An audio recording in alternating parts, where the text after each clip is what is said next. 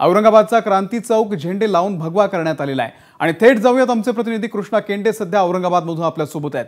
कृष्णा कसं वातावरण आहे सध्या औरंगाबादमध्ये? निश्चितच आज सभेसाठी शिवसेनेने तयारी पूर्ण केलेली आपल्याला पाहायला मिळते. शहरातले जे चौक आहेत ते भगवे करण्याचा प्रयत्न या ठिकाणी शिवसेनेकडून करण्यात आलेला आहे. औरंगाबाद शहरातला हा मुख्य चौक आहे क्रांती चौक. आणि आता आपण पाहतोय की क्रांती चौकामध्ये एक भगवी झालर चहूबाजूनं लावण्यात आलेली आहे. क्रांती चौकातील छत्रपती शिवाजी महाराजांच्या पुतळ्याच्या भोवती देखील एक भगवी झालर लावण्यात आलेली आहे. झेंडे लावण्यात आलेले आहेत. आणि आता हे जे ही जे चौक आहेत अशा प्रकारचेच अनेक चौक शहरामध्ये या ठिकाणी शिवसेनेनं अशा प्रकारची भगवी झालर लावून या ठिकाणी भगवे केलेले आहेत आणि एक वातावरण निर्मिती केली जाते की मुख्यमंत्री शहरामध्ये येत आहेत आणि त्यांची सभा आहे. आणि आता तू जसं सांगितलंस तसं काल जी घोषणा केली होती पालकमंत्र्यांनी रस्त्यासाठी दोनशे सात कोटी रुपयांची यावर देखील भाजप टीका करते.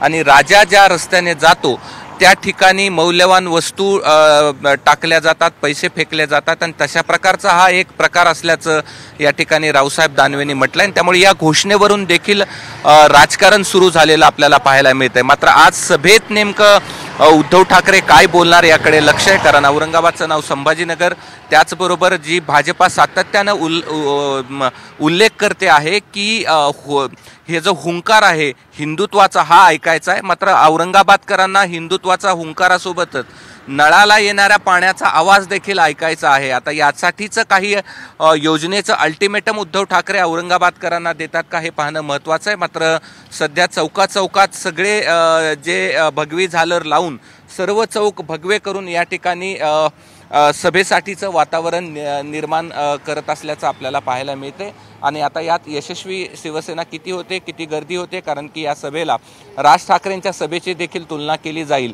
आणि तितकी गर्दी जमा होते का याचं देखील आव्हान शिवसेनेसमोर असणार आहे. मात्र याचं उत्तर आपल्याला संध्याकाळी मिळेल. मात्र शिवसेनेनं सभेसाठीची जी काही तयारी करता येईल ती सगळी तयारी केलेली आपल्याला पाहायला मिळते आहे. निश्चितच. या सभेकडे सगळ्या महाराष्ट्राचं लक्ष लागलेलं आहे.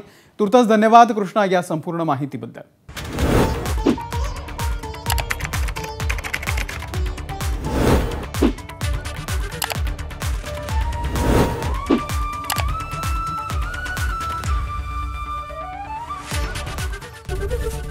एबीपी माझा.